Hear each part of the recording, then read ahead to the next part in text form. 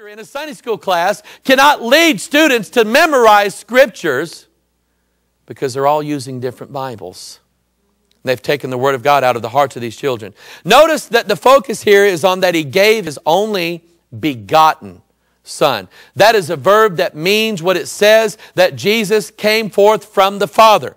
And so the New English Version has omitted begotten and just calls him his only son. The RSV calls him his only son. He's omitted begotten. The NIV, his one and only son. It is omitted the doctrine of the begetting of the Father of Jesus Christ. It's taken it completely out. And yet we're supposed to believe we can hear God's voice in here. All scripture is given by inspiration of God and is profitable for doctrine, for reproof, for correction, for instruction in righteousness. It says all scripture. So you know what that means? Genesis 1 1 to Revelation 22 21, God gave it. Now I want you to notice this first. I like this because it says all scripture is given. You know what that? My English teacher taught me that is a present tense. It doesn't say that all scripture was given. And you know what? I didn't read the Bible 2,000 years ago. I read the Bible now. And so, you know what this tells me? That when I read the scriptures, the Holy Ghost of God is giving me the inspiration of God. Right here, right now, is given. Now, watch this. The New English Version says every inspired scripture has its use. It's saying that not all the scripture is inspired. And without controversy, great is the mystery of godliness. God was manifest in the flesh. You believe that? Say amen. That's the King James. The NIV says he appeared in a body. Who? But it doesn't say God, does it? And to the degree that you remove the deity of Christ from Christ, oh, well, I'll show you that in a minute. Who was delivered for our offenses and was raised again for our justification. The death, burial, and resurrection of Jesus Christ is what caused our deliverance and our justification. However, the New King James Version says he was delivered up because of our offenses and was raised because of our justification. It is removing what Jesus did as part of our salvation experience. And yet we're supposed to believe that God's voice can be heard in here somewhere. For we are not as many which corrupt the word of God. Even the corruption of the Word of God was going on in Paul's day. So the NIV says, unlike so many, we do not peddle the Word of God for profit. Oh, yeah, they do.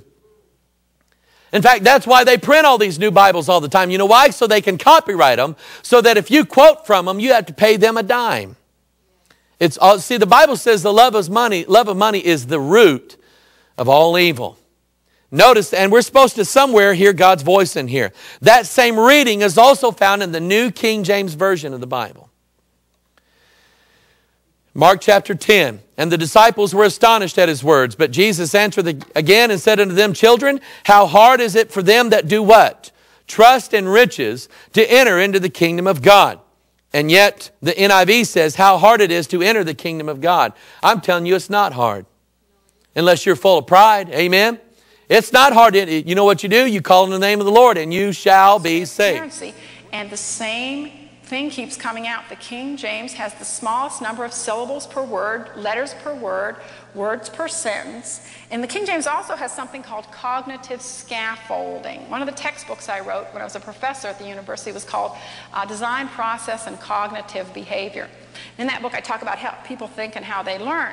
But one of the ways children learn is called cognitive scaffolding. That means if I say, the Bible, King James Bible says, uh, be careful for nothing.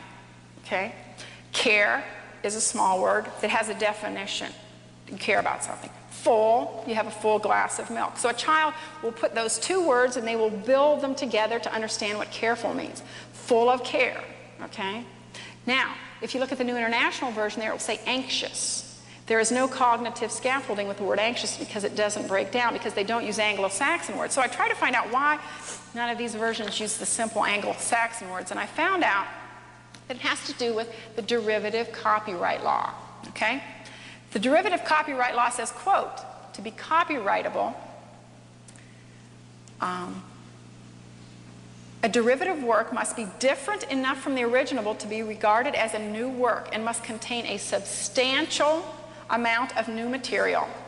Making minor changes or additions of little substance to a pre-existing work will not qualify the work as a new Version. You have to make substantial changes in the version. So here we have the New King James. It's going to pretend that it's going to update all the King James words. For the word evil, okay, now the word evil will cognitive scaffold for a child to devil. Okay? But they have adversity, distressing, catastrophe, calamity, difficult, harmful, terrible, and doom. I didn't put doom on there. Fat is verdant. Okay? Man is mortal. Old is elderly, give is gratify, house is habitation, smell becomes savor. Okay, why did they do this? Now, there's a book called The NIV Story by Burton Goddard, and he explains why they did it because they can't use the King James words. They're the best words, they've already been taken, so they have to go to thesaurus. Now, if you're doing the New American Standard, you get the first choice, but then by the time you're on to the NIV, you're on the third choice, and by the time you're down to the New King James, you can't take anybody else's words, and you're using these ridiculous words like verdant for fat, okay? but I think um, what, when people say the King James is hard to understand, they're really misrepresenting how someone understands the Bible. Uh, Psalm 25 says, The meek I want to do a review here of the Quick Scan King James Bible. This thing is put out by the Berean Bible Publishers, and uh, it's an interesting new twist on Bible perversion. I'm going to show you here what I mean. Here we have the Holy Bible, Complete Authorized King James Version, and Quick Scan, Berean Bible Publishers. There's the address, the website. Here's what the outside of it looks like. Okay, you can see that. Let me show you some of the stuff in here.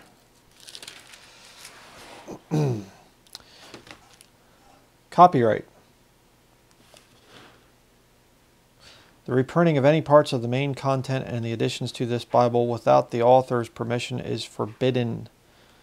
Notice it says additions to this Bible.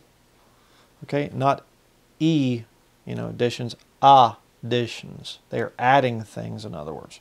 You're going to see what things are added here in a minute. But very interesting because here I have my Cambridge, my good old Cambridge Bible.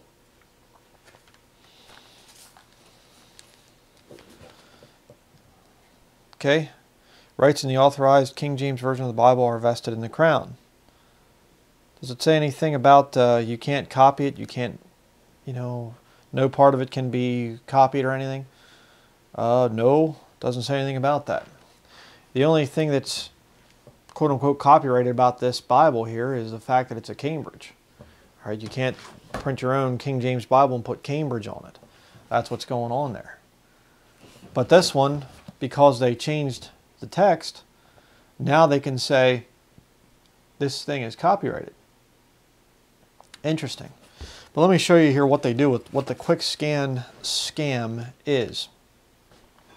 How quick scan benefits you. Quick scan words. By reading the bold words only, you will reduce reading time by up to two thirds, it says. You simply eliminate the necessity of reading about half the words. Now look at this words that can be left out without changing the overall meaning of the text words that can be left out without changing the overall meaning of the text. Remember that as I show you in the actual text how they pervert the scripture. But it says here, a consumer of large chunks, you know, but you eliminate uh, left to right, big head or big problem, as many have in reading, and also a consumer of large chunks of your valuable time. So reading the Bible is not part of valuable time.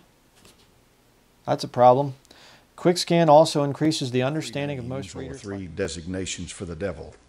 One is Lucifer in Isaiah 14. The other is Satan, when the Lord says, Get thee behind me, Satan, addressed him personally. And the third one is, is a generic term, simply means, or simply says, devil.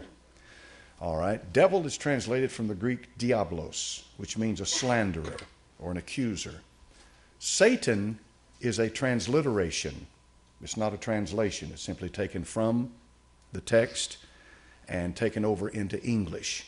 It is a Hebrew word because Satan shows up in the, in the Old Testament time and time again, and sometimes it is translated and sometimes it's not. And sometimes it's translated and says adversary or what have you like that, but then sometimes not. So it is the name of the devil, Satan. But then there is another name that shows up in the Bible, and that name is Lucifer. In Isaiah chapter number 14, the name, the word Lucifer is a Latin word, and that word means a shining one or a bright one, or literally, Lucifer means a bearer of light. Now, in the book of Isaiah, chapter number 14, and verse number 12, the Hebrew word Hallel shows up one time in the Old Testament. One time, right there, Isaiah chapter 14. That in itself is remarkable because it shows that the Holy Spirit is giving you that word and associating that word with this fallen creature, Lucifer. And in Isaiah 14, it's talking about his fall from heaven.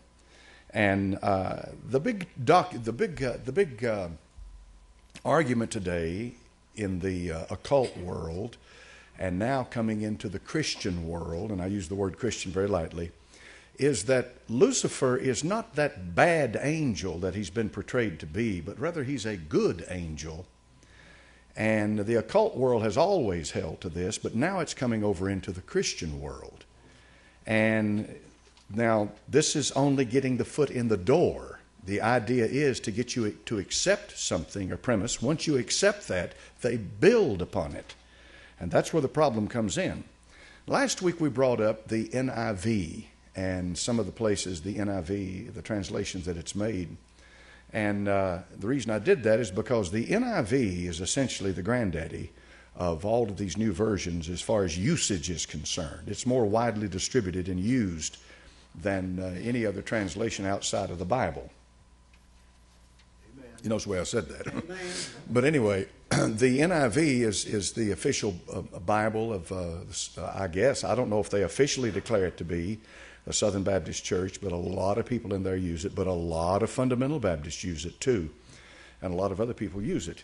I thought you might be interested in some statistics. Now, I'm not one that's, uh, you know, statistics will burn you up and wear you out, but uh, as you, I don't know if you realize it or not, but the NIV has changed considerably since its first incarnation and to the point to where it is today, which obviously, of course, means that if it has changed up to this point, it will continue to change. And uh, here is a um, here is some of the statistics that uh, we start with. As, as far as NIV of uh, 1984 up until the present, only 60 percent of the original NIV has been retained a full 40% has been changed.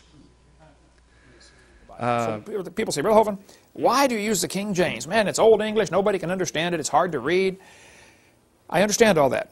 And as a brand new Christian, saved out of the Methodist Church, uh, my mom gave me every kind of new Bible version there was. If a new one came out, hey, son, you're going to love this one. So I've got a huge collection of all the Bible versions. When I was 16, I had the reviled substandard perversion of the Bible. It's here someplace, my original copy. But uh, I was reading that, going to church, going to this little independent, temperamental, fundamental, right-wing, radical, chicken-eating Baptist church, and the preacher was banging on the pulpit saying the Bible's the Word of God, and I was making notes in my revised standard version. And after a couple of months, he said, Brother Hovind, you've been a Christian a few months now. Uh, it's time you get a Bible. I said, I got a Bible. He said, no, you need a real Bible. I was offended. Okay, I thought, well, I got a Bible. I've been making notes. I've been reading an hour a day. What do you mean? He said, well, there's real problems with that one. So why King James. It's been 33, 37 years now as a Christian of you know, studying this topic. Why? Look at Psalms chapter 12. The words of the Lord are pure words, as silver tried in a furnace of earth, purified seven times. Thou shalt keep them, O Lord. Thou shalt preserve them from this generation forever. What does the word them refer back to in that verse? Thou shalt preserve them. Preserve what? His words. He's promising he's going to preserve his words, right? How about NIV? The words of the Lord are flawless, like silver purified in a furnace of clay, purified seven times. O Lord, you will keep us safe and protect us from such people forever. Is that saying the same thing? I mean, I was born at night, but it wasn't last night. It looks to me like somebody's wrong about this one. Okay? What does this mean? Keep us from such people. What people is it talking about? There are very serious differences between these Bible versions. We've got a book, I don't know if I have it here, it's in our library. It, the guy sent it to me. It took me six months to figure out what the title said. I read it, I said, what? Went on to something else. Every time I look at the book, I said, what is this? The title was, Things That Are Different Are Not the Same.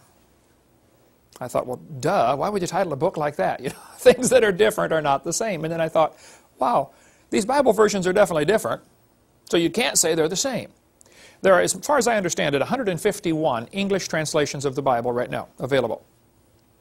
The law is you cannot get a copyright and therefore protect your work and therefore get more money unless you have 10% different from the original.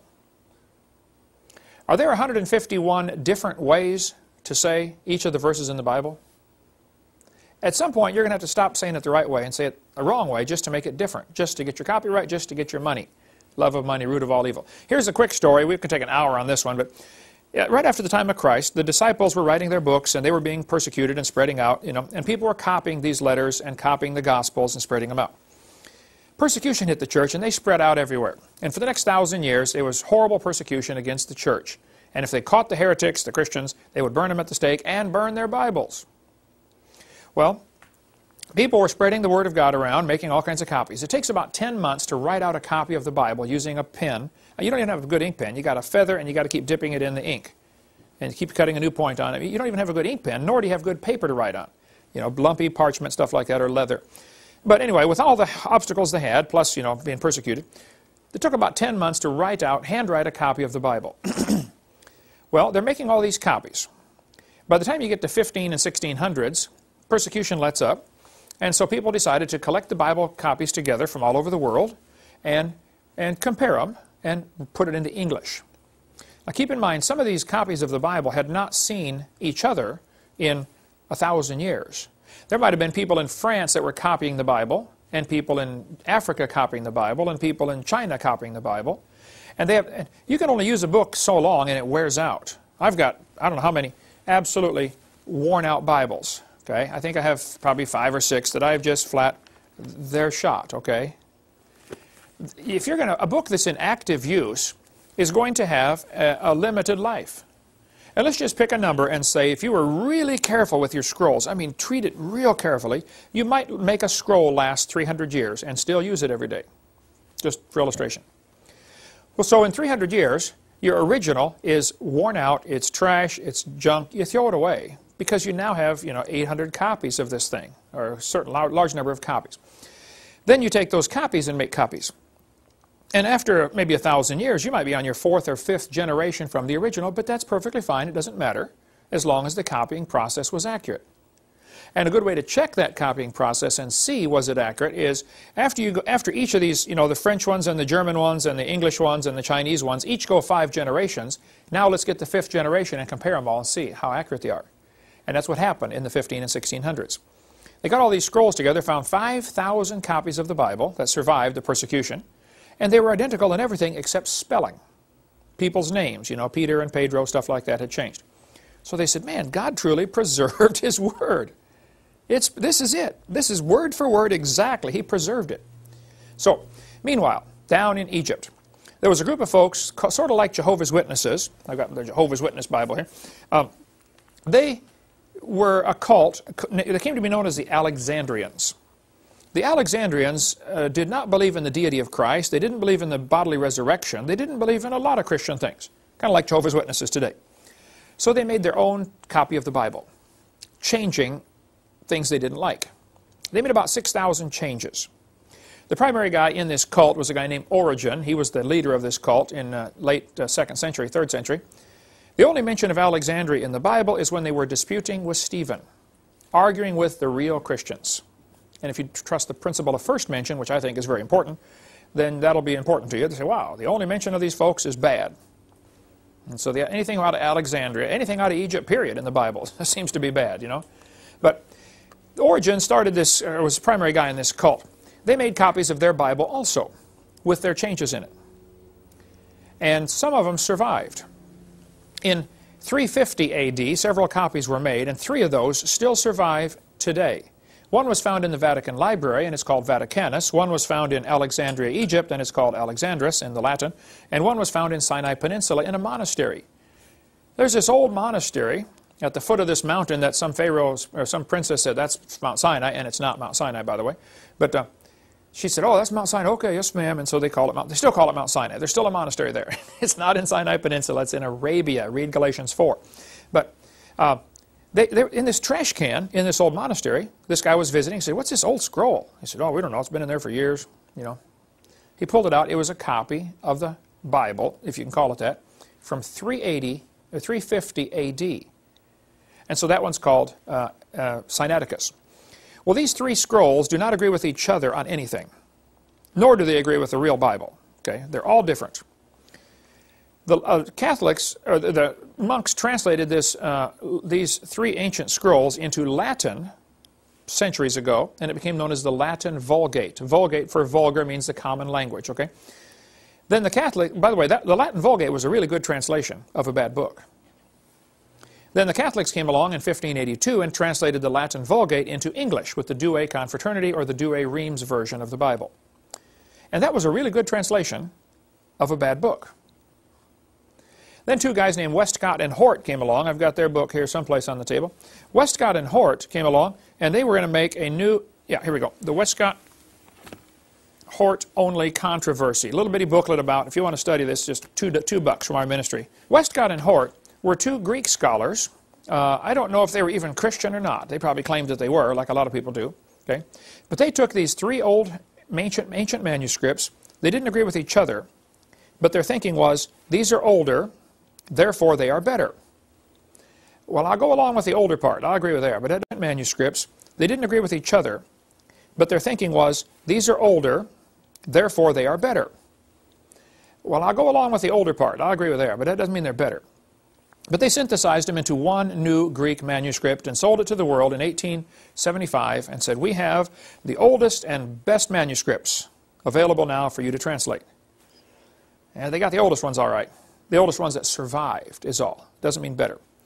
Then people started taking their Westcott and Hort version and translating it into English. First one done, 1881, as the Revised Standard, then the American Standard, the Revised Standard, uh, the revised version, the revised version first, then the Jehovah's Witness Bible, the New World Translation done in 1950.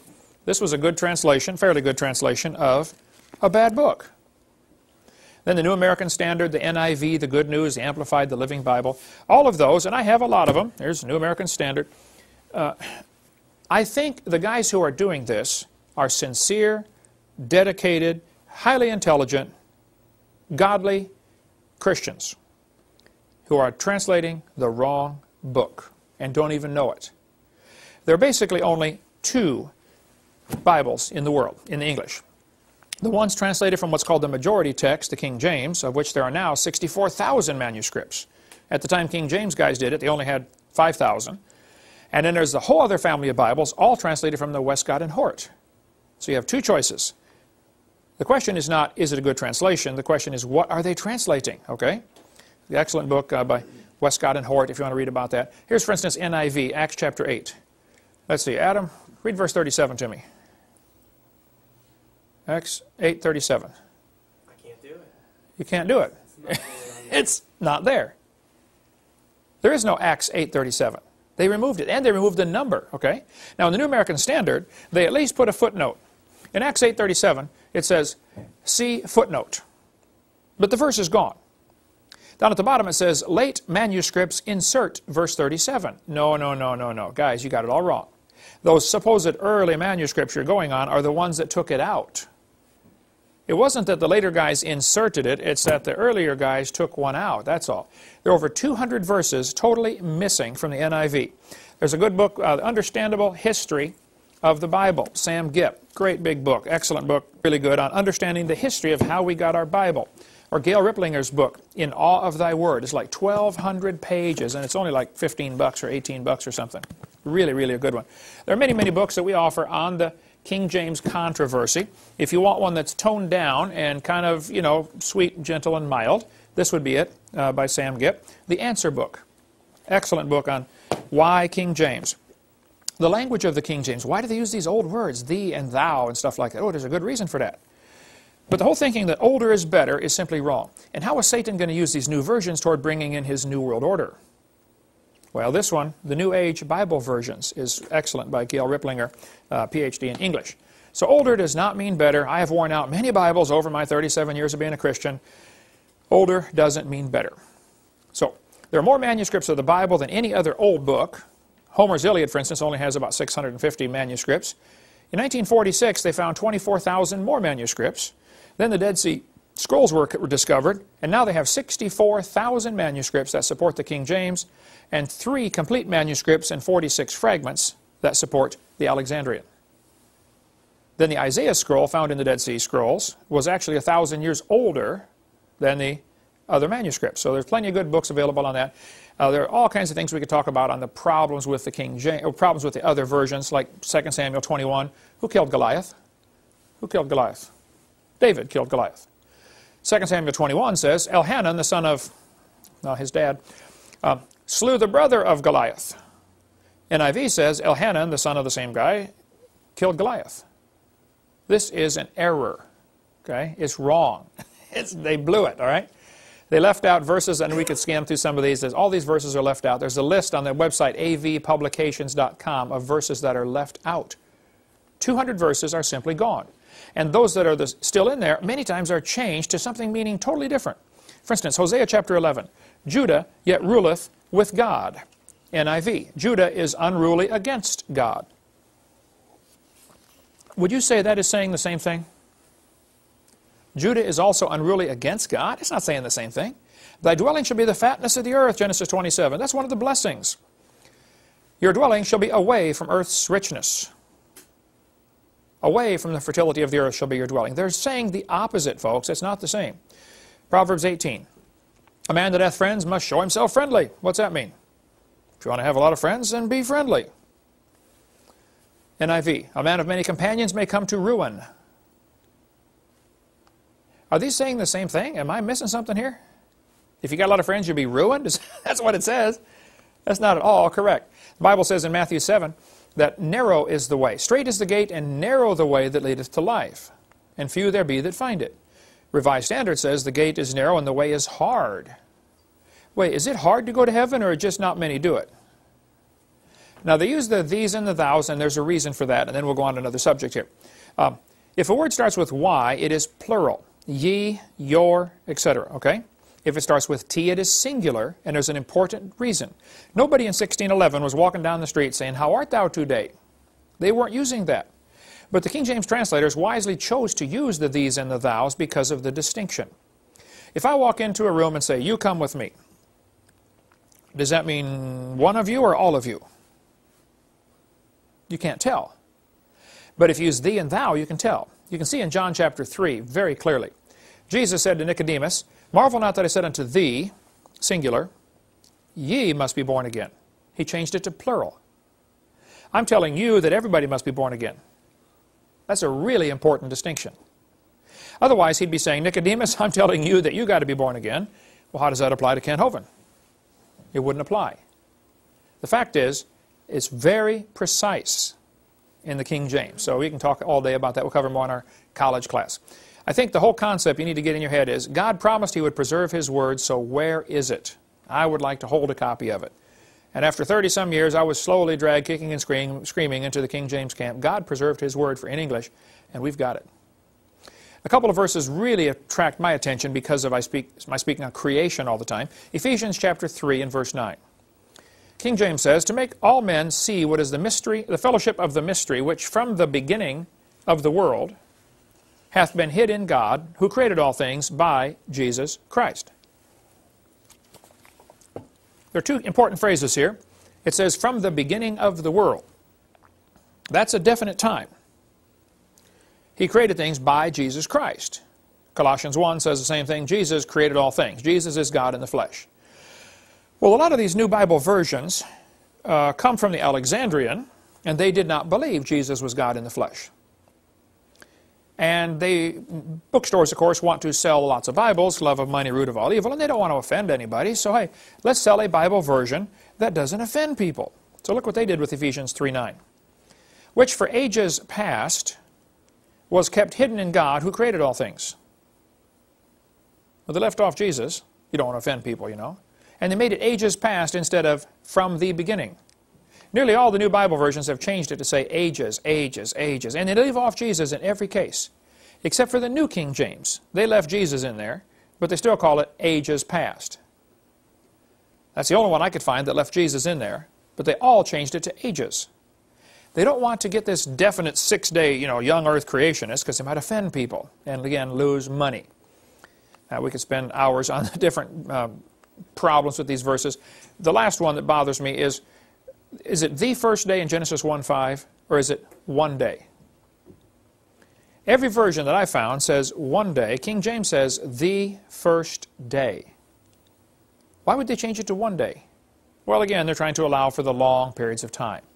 And I don't understand how somebody can read Genesis 1.5 and still believe there's a gap between verse 1 and 2 of any amount of time, more than an hour. The first day. It couldn't be more clear. If the Bible, which has been given to us as a point of reference, which Jesus said is God's truth, then why are there so many different interpretations of this truth, which has resulted in many various different sects, such as Catholicism, baptism? Uh, last night, this question came in a bit of a different form, so if there's a little bit of repetition, uh, allow me to make that. Christianity is not the only faith or the religious worldview that has various groups.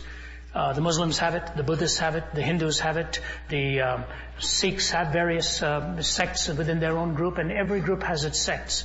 So what happens is in the Christian faith, the reason the Bible was even formed, by the way, and the canon was pulled together, was because there were those who were trying to bring in heretical views and contrary views to what it is that Christ actually taught. And that, of course, continues to this very day. Now, when the Bible was collected, You've got to look at it. It is a very different form of scripture to anything else. For example, the Quran claims to be singularly revealed, verbally dictated. Every word remains unchanged. So the assertion is. And it comes across from the 6th century and so on. That's why even translations are never treated on the same level as, uh, as the original in the Arabic uh, that is given and the most sacred text preserved by them. Their most sacred text preserved by them. The Bible is written across 1400 years. Moses lives around 1450 before Christ, so you take his writings and then you come to the time of the kings and the judges and the prophets, and then you have the break and John the Baptist comes in to announce the coming of Jesus Christ. When you look across 1500 years of prophecy, the first thing that arrests you is the spectacular way in which there is a single thread from beginning to end. From the book of Genesis to the book of Revelation, the focus is the person of Jesus Christ. The place of his birth is given centuries before. The name is given long before. His ministry is given long before. His death is predicted seven to eight hundred years before. The kind of specific prophecy, for example, is given to us in a book of Daniel. Daniel writing in the late 500s talks about a massive emperor. It's talking about Nebuchadnezzar, the Babylonian emperor. He says he will suddenly be cut down. Then the, the goes into the Medo-Persian and on and on. He goes all the way to the time of Alexander the Great, who also, he says, as a young man, his life will be snuffed out. Empire divided into four, four blend into two, two emerge into one. When you look at history from Alexander the Great to the four Macedonia, to the four generals, to the Ptolemaic, to the Seleucid, to the Roman Empire, you see it as specific prophecy given centuries before. So the first thing you hear is, this is a supernatural book. It is not merely talking about an idea. There is a supernatural element to it.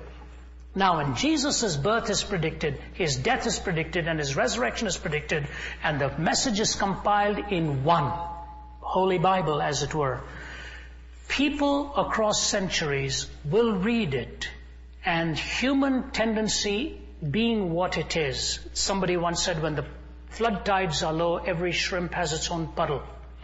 And everybody wants to have his own little group, you know. So here comes one denomination, another denomination, another denomination. One person says you've got to go under the water if you're really going to be baptized. Another one says you're going to go right to the top of the head, uh, just a sprinkling. It doesn't matter what else you do. And, you know, you go through all of these various debates to the true follower of the Bible. It becomes an important issue that they're of, they're believing it the way it is presented. My answer to you is this. Unity of belief does not always mean uniformity of expression. I believe there are some who may take one aspect of the Bible and make that more major than say I would make it. The most important thing I would say to you is that we need to measure the interpretation by the facts of the text that they are interpreting. That's how you check it out against the referent. Now, the Bible is a unique book, you know. We don't have one statement extant ever written to us by Socrates. We think he said all those things because Plato tells us that. The difference between what Homer wrote and the first extant copy is over a thousand years. The Bible is the lone document that we have where within a century of its articulation of these major truths, we have extant copies, and by the first 300 years, we have a complete corpus of material of the Old and the New Testament. So the problem is not with the scriptures. The problem is the way people sometimes interpret it, and they, you have to check the referent then and make sure that that interpretation is valid. Once you have checked against the referent, you're able to talk to the person about whether it's a legitimate interpretation or an illegitimate interpretation. We should not fault the source because of the way it is used or abused. And the most important doctrines are clearly understood by the believers in terms of the Protestant and the Roman Catholic division, which is a very great and a very tremendous historic division, and since you mentioned it, I should address that. And by the way, again, I've spoken in both uh, categories of universities and seminaries and so on. What was the difference? The difference came in that in the Catholic Church, the authority was the church.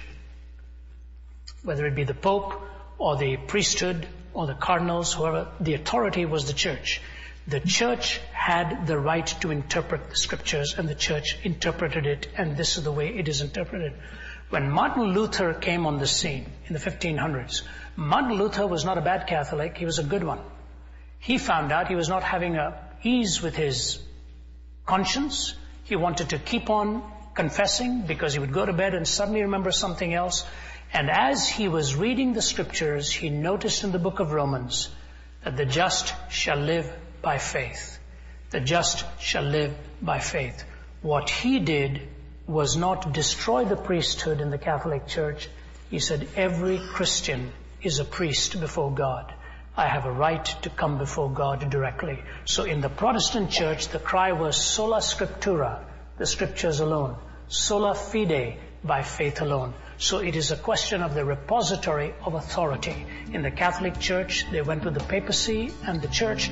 In the Protestant Church, they went with the final authority of the scriptures and the priesthood of the believer. Now, your challenge should be to look into the Bible and see which of these two schools of thoughts is in keeping with the scriptures, and that's how you find out where the truth is.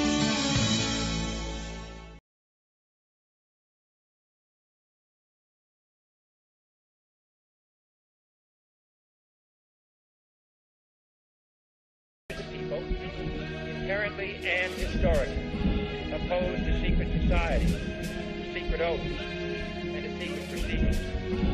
We decided long ago that the dangers of excessive and unwarranted concealment of pertinent facts far outweighed the dangers which are cited to justify it.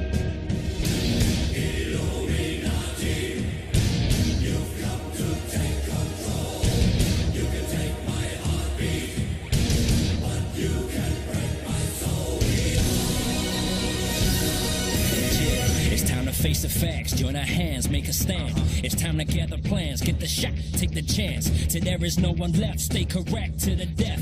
They can't ever break a freedom, we will never let them. The corrupt politics is killing the system. Cynicism is it, and it's everything that you witness. They tell you what to think, make you believe that they're the realness. They feed us full of lies, and yet we always forgive them. Huh? It's all conspiracy, and if you feed it in a witch, you're the puppet. The government's pulling strings from above you. It's time for the introduction to truth, start a movement. We've all been brainwashed, they believe that we all are stupid. We believe in what we see and whatever our ears are hearing. But if you look close, listen, gather your own opinion, you'll understand all the lies, lines, and what's between them. This word is not your oyster, this word is a fucking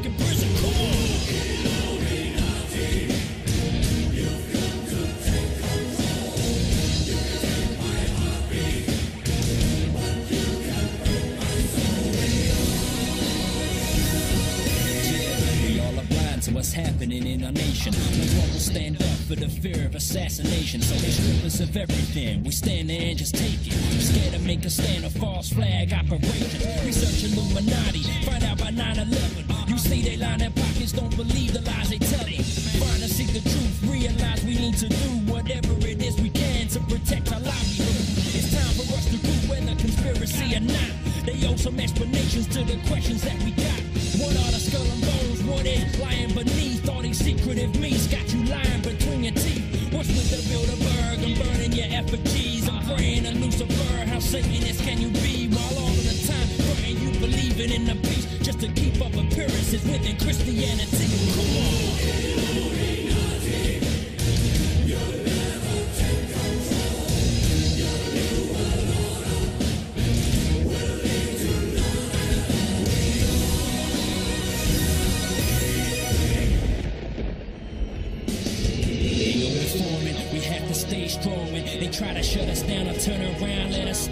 We got the warnings, let us march from the morning through the night. We gon' fight and close the eye and overthrow all these damn secret societies. Why we gotta stand for the